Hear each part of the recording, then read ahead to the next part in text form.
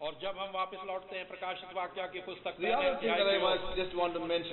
is और दूसरी चीज़ जो यहाँ पर जिसका वर्णन करना चाहता हूँ ये है um, Blessed is he that readeth and that hear the words uh, of this prophecy and keep those things. और यहाँ पर जो चीज़ है वो बताई गई है कि धन्य है वो सुनने वाले जो इसमें लिखा है उसको सुनते हैं और उस पर अमल करते हैं। एंड ओबे और उस पर अमल करते हैं। You know a blessing is promise on those उनके लिए एक आशीष की वाचा दी गई है। Keep the things which are written in it जो कि उन चीज़ों का पालन करते हैं जो इसमें लिखी गई हैं। One thing I can say और एक चीज़ मैं कह सकता हूँ। This book is given to us to obey और ये पुस्तक हमें इसलिए दी गई है कि हम आज्ञाओं का पालन वर्ड इज़ और परमेश्वर के वचन का पालन करना है। Expression here concerning this book और लेकिन इस पुस्तक के विषय में एक विशेष अभिव्यक्ति यहाँ पर दिया गया है। Blessing is on every one read the word of God Bible and obey that no doubt और इसमें कोई संदेह नहीं कि हर एक वो व्यक्ति जो बाइबल को पढ़ता है और उसका पालन करता है उसके लिए आशीष है। So God's word is something that we need to obey, and there's a blessing there, no doubt. और इसमें कोई संदेह नहीं कि परमेश्वर का वचन कुछ ऐसा है जिसका हमने पालन करना है और उसमें आशीष भी But है specifically it says about a blessing in this book. लेकिन इस पुस्तक में विशेष करके So, लिखा गया है उन आशीषों Remember, the book of Revelation is a book to be obeyed in our lives. तो इस बात को स्मरण करें कि प्रकाशित वाक्य की पुस्तक जो है उसका पालन हमने अपने जीवनों में करना है You know, in a, in majority of people talk about Revelation and they don't see something to obey in the book of Revelation most of the time. और बहुत संख्या ऐसी लोगों की है जो कि प्रकाशित वाक्य की पुस्तक का चर्चा तो करती है लेकिन उसके पालन की बात नहीं करती They don't see much there to obey, it और looks like. उनको दिखता नहीं कि उसमें कितना उनका आज्ञाकारिता But in the book of Revelation, परंतु प्रकाशित वाक्य की the Lord makes it very clear right in the beginning, it's to be obeyed. और प्रभु इसको शुरू में ही बतला देता है कि इसका पालन करना चाहिए। Not in the book of Revelation और मुख्य विषय यह नहीं है कि प्रकाशित वाक्य की पुस्तक में जो लिखा है उसका अनुवाद understanding the symbolic language and भाषा जो उसमें दी गई है उसको समझने की बात and teaching it to other people और दूसरे लोगों को इसकी शिक्षा देना। But it is to be obeyed by one and all और लेकिन हर एक जन ने इसका पालन करना है। But I know that is clear that many are found wanting और यही पर हम देखते हैं कि बहुत से लोगों में यह अभाव पाया जाता है। और यहाँ पर जो प्रतीक भाषा में चर्चा है इनका अनुवाद कर सकते हैं। उसका अनुवाद करके बताएँ लेकिन जब आज्ञाकारिता की बात many many are missing out today in their life तो बहुत से लोग अपने जीवन में इससे वंचित हैं। And this is a matter of concern और ये एक बड़ा चिंतन का विषय है। और प्रिय भाइयों और बहनों we are to obey what is here in this book और हमने उसका पालन करना है जो इस पुस्तक में लिखा गया है। That is far more important God than understanding what is written in the book वो परमेश्वर के लिए बहुत ही yes. आवश्यक है। बजाय इसके कि हम इस पुस्तक को समझने की कोशिश करें कि इसमें क्या लिखा है। It's far more important than understanding what is written in the book of Revelation और प्रकाशित वाक्य की पुस्तक को समझना से अधिक इंपॉर्टेंट इज़ दैट वी ओबे कि हम उसका पालन करें। ओबे व्हाट इज़ रिटन हियर जो इसमें लिखा है उसका पालन करें। That we be obedient to what God reveals to us और मैं उत्साहित करूँगा कि जो परमेश्वर हम पर प्रकट करता है हम उसके आज्ञाकारी बने। इन नो दैट ओबीडियंस और वो आज्ञाकारी is the greatest need today वो आज बड़ी उसकी so much of preachers today आज बहुत से प्रचारक हैं। And very few who obey the word और लेकिन बहुत कम ऐसे हैं जो कि वचन का पालन करते हैं you know that is the time in which we are living और ये ऐसा समय है जिसमें हम रह रहे हैं। You know people preach such word और लोग ऐसे वचन का प्रचार करते हैं। Such you know teach such topics और इस ऐसी चीज़ों का वो शिक्षा देते हैं। Never been things which have never been realities in their own lives और ऐसी वस्तुएँ उनके खुद के जीवन में कभी वास्तविक नहीं बनी हम ऐसे समय में रह रहे हैं।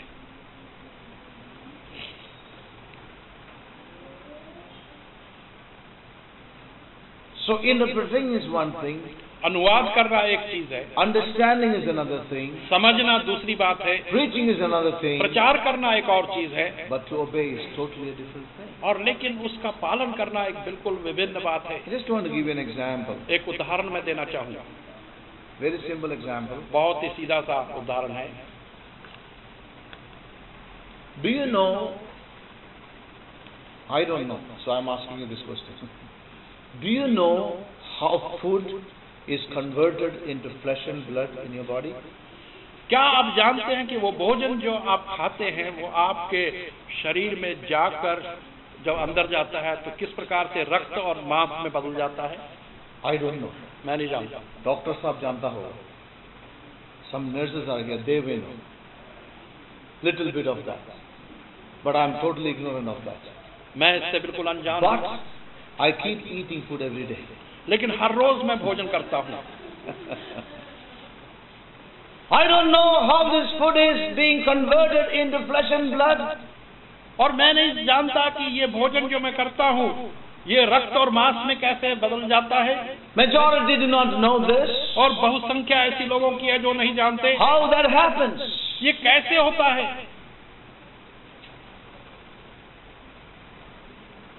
No no do you know it neither you know it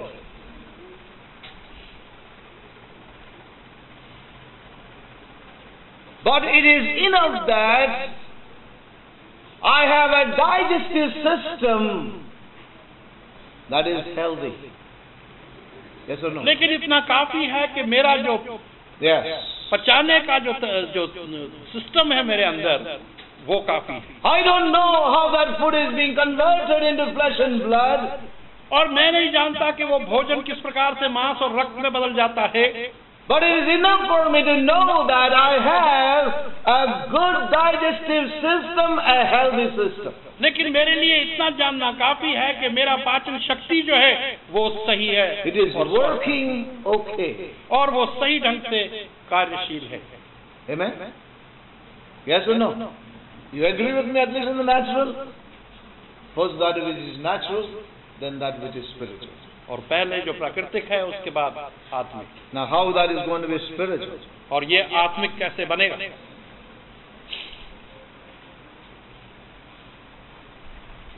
The most important thing in our lives is our obedience to God. और सबसे महत्वपूर्ण चीज़ जो हमारे जीवनों में है वो हमारी आज्ञाकारिता you परमेश्वर have के a heart to obey, that speaks about a healthy, digestive, spiritual system और यदि आपके अंदर ऐसा हृदय है Yeah. जो आज्ञाकारी करना चाहता है तो आपकी पाचन क्रिया जो है वो स्वस्थ है आत्मिक रूप से If you have a heart to obey His word, और यदि आपका हृदय उसके वचन का पालन करना चाहता है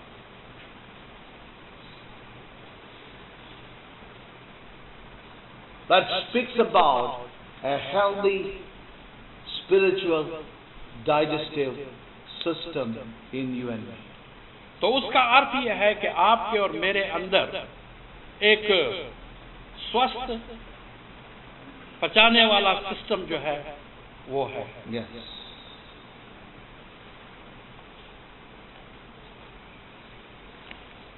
You may not know all the ways in which things will work out, just as you don't know it even in the natural how that conversion takes place. और जिस प्रकार से प्राकृतिक रूप से आप नहीं जानते कि आपके शरीर में ये बदलाव किस प्रकार से आता है But as long as you want to make sure that you have a strong digestive system, a healthy digestive system, it takes care of it. और जहां तक कि आप समझते हैं कि मेरा पाचन का जो तरीका जो अंदर हाजमा है वो Yes. बिल्कुल स्वस्थ है सही है तो उतना ही My काफी dear है। brothers and sisters, प्रिय भाई और बहनों if you have a heart of obedience to the Lord, A heart to walk in His ways and do His will, obey His voice, and word that talks about a spiritual, healthy, digestive system. And that will take care of things. और यदि आपके पास ऐसा हृदय है Yes. जो कि परमेश्वर के वचन का उसकी आज्ञाओं का आज्ञाकारिता करना चाहता है पालन करना चाहता है Yes. तो आपके अंदर वो पाचन क्रिया जो है वो स्वस्थ है It will truly take care of. और वो सारी चीज़ों की जो आत्मिक है वो उसकी देखभाल खुद कर देगा। और ये कहने के पश्चात समथिंग मोर हियर और यहाँ पर कुछ और अधिक कहूँगा मैं।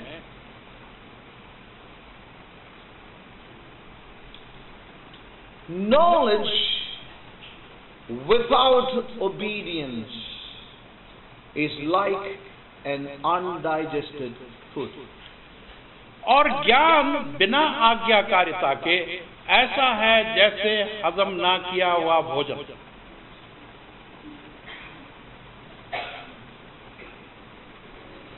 A very serious word in counsel. एक बहुत ही गंभीर वचन और सलाह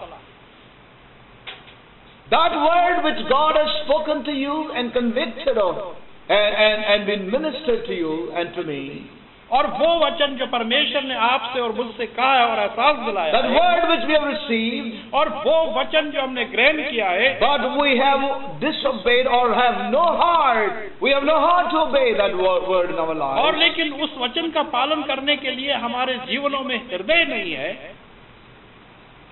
It's like an unjust undigested food in our system और वो एक इस तरह की चीज़ है जैसे कि हमारे इस सिस्टम के अंदर एक ऐसा भोजन जो कि पचाया ना गया हो तो क्या what है? happens in the natural when you have undigested food in your in your system. और प्राकृतिक रूप से क्या होता है जब के आपके सिस्टम के अंदर पेट के अंदर ऐसा भोजन है जो पचा नहीं है. वो आपको बीमार कर देता है It makes you sick. वो आपको बीमार कर देता है And it can even result in loss of energy, ill health, and finally even death. और इसका परिणाम ऊर्जा की कमी कमज़ोरी और अंत में मृत्यु तक भी हो सकता है That food is to bring life, और उस भोजन ने आपको जीवन प्रदान किया लेकिन अब उसने मृत्यु उत्पन्न कर दी है। प्रिय भाई और बहनों maybe we never thought like हो सकता है कि हमने ऐसा कभी सोचा ना but this is God's word लेकिन ये परमेश्वर का वचन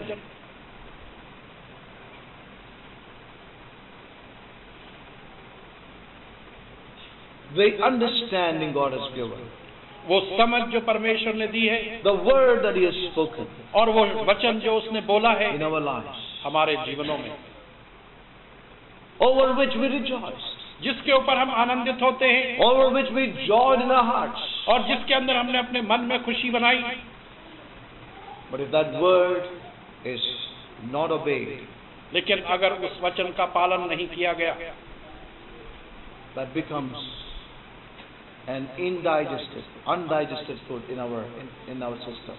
तो वो हमारे सिस्टम के अंदर एक ऐसा भोजन होता है जो पचाया ना गया हो It makes us sick, spiritually sick. जो हमें आत्मिक रूप से बीमार कर Today, देता है many are spiritually sick.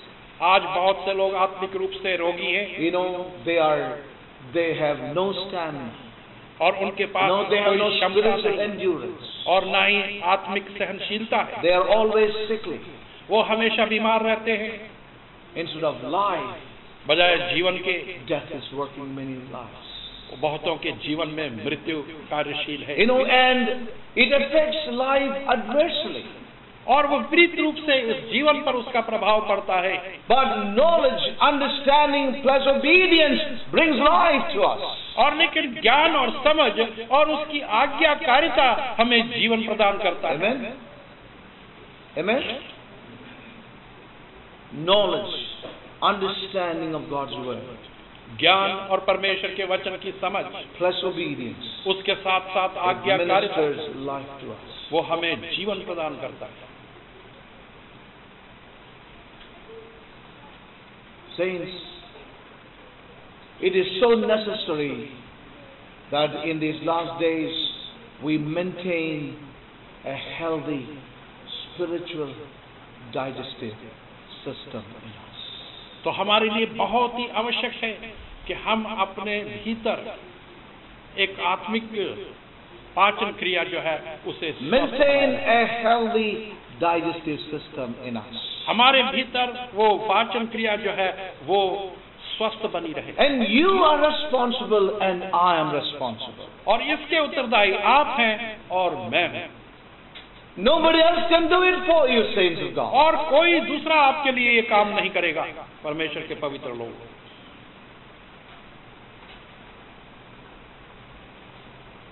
Today we are living in a time of a lot of duplication and imitation of Christian life.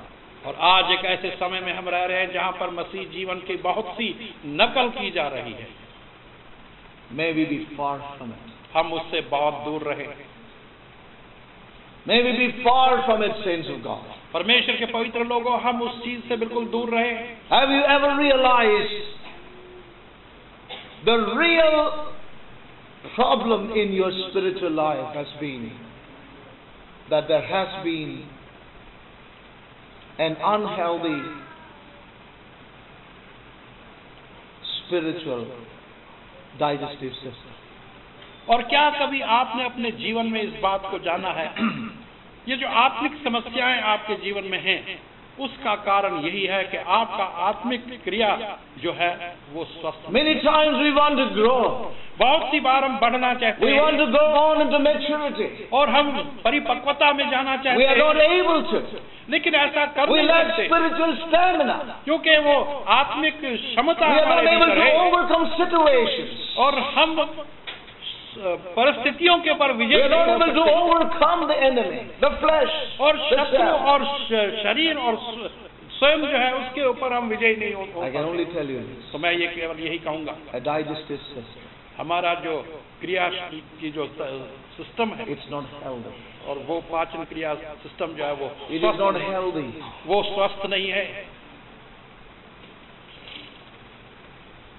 Life of obedience आज्ञाकारिता का जीवन।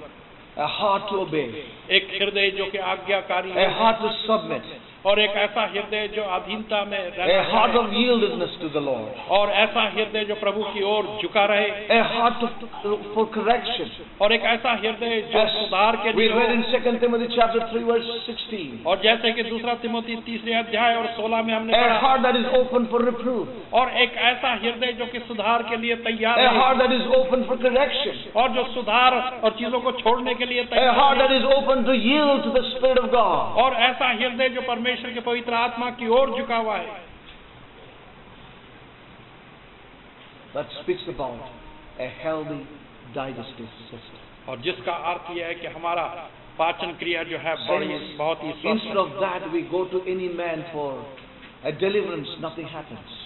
और इसके बावजूद हम किसी No व्यक्ति के पास जाए कि मुझे छुटकारा मिले कुछ नहीं होता कोई व्यक्ति आपको छुटकारा नहीं दे सकता। और ये आपके ऊपर है कि आप आज्ञाकारी रहें। मेरे ऊपर है God's people lack spiritual stamina spiritual strength to overcome और बहुत सी बार हम देखते हैं कि परमेश्वर के लोगों के अंदर वो आत्मिक सहनशीलता का अभाव है। और विजयी होने का I know I do not know many things in God's word और मैं परमेश्वर के वचन की बहुत सी बातों को नहीं जानता। सेंस परमेश्वर के पवित्र yes I am challenge with one फिर भी एक चीज़ की चुनौती मुझे मिलती है। Life of obedience to what God is revealed कि जो कुछ परमेश्वर ने प्रकट किया है उसके लिए एक और जिसके लिए उसने मेरे आँखों को प्रकाशमान किया है मेरे अंदर आज्ञाकारी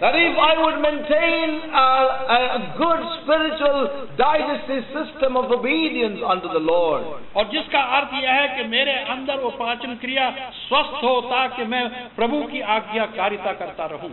देन तब I don't have to be worried. तो मुझे चिंता चिंता करने की आवश्यकता नहीं है Praise God, Lord. I don't have to be troubled. तो मुझे परेशान होने की आवश्यकता नहीं I will come into conformity again. और एक दिन आएगा कि मैं उसके स्वरूप हो जाऊंगा I will be kept by His power. और उसकी सामर्थ्य से मुझे संभाले I am deeply convicted by these things in my own life. और इन चीजों के द्वारा मैं अपने जीवन में बहुत ही A गहरा life of एहसास करता हूं। obedience एक आज्ञाकारिता का जीवन is the w- only way to maintain a good spiritual digestive system. वो ही एकमात्र तरीका है कि हम एक अच्छा पाचन क्रिया का जो सिस्टम है उसको बनाए रखें।